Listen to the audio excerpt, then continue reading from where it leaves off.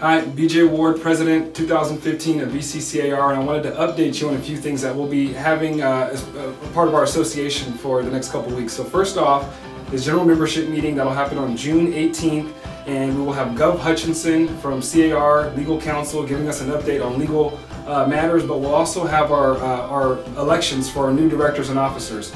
You do have the ability this year for the first time to vote online, but you can also come physically to the Residence Inn at River Ridge and cast your vote in person and to hear from the candidates directly. Another thing to look out for, which will be a free member benefit to those uh, members of VCCAR, is Trendgraphix. And Trendgraphix will be embedded directly into our MLS through a single sign-on, and it will allow you to put together really nice uh, clean charts and graphs that you can put in front of your clients. Trendgraphix is perfect for uh, listing presentations. And what it does is it allows you to take the raw information from the MLS, days on the market, months of inventory, uh, what's active and pending and contingent and sold, and you can take all that information and put it into a very compelling presentation uh, in front of your client. So again, it's a free member benefit and be on the lookout for it because it's coming in the next few weeks. Our education committee has put together the event of the year as far as education is concerned. On June 17th at the Crowne Plaza in Ventura, we'll have guest speaker Matthew Ferry there to talk about mindset and creating the right mindset for realtors. And um, the main thing about this, I think, is that is that the event is free. So they secured a sponsor, Chase. They've made the commitment to us, and um, we are really excited about having Matthew Ferry here. But keep in mind that space and seats are limited. You'll have to go to Eventbrite to register to secure your seat, and that will be again June 17th at the Crowne Plaza in Ventura. I also wanted to bring up the uh, what we've been hearing a lot about, which is the CFPB or the Consumer Financial Protection Bureau.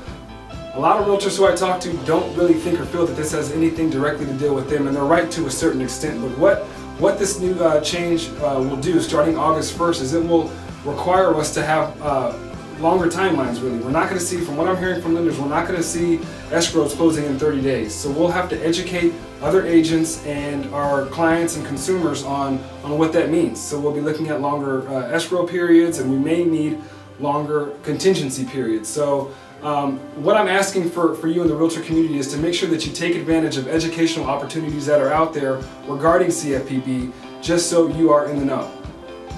There's another thing that I've uh, been hearing a, a, lot about, and not just in the real estate community, but from my neighbors, um, in the news, and certainly from clients, both buyers and sellers, and that has to deal with the drought and uh, the idea of conserving water in California.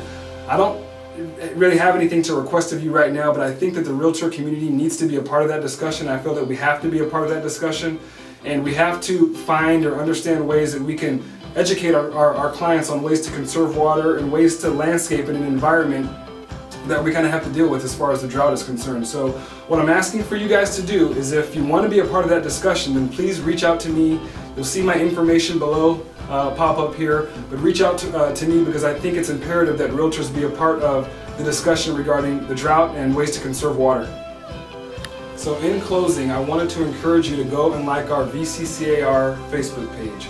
When you like our page, you'll get all the information that we post. You'll get videos like these, you'll get articles, photos, um, information on billing, and anything else that's pertinent and relevant as far as our association is concerned. So make sure, make sure you go back and you like our Facebook page.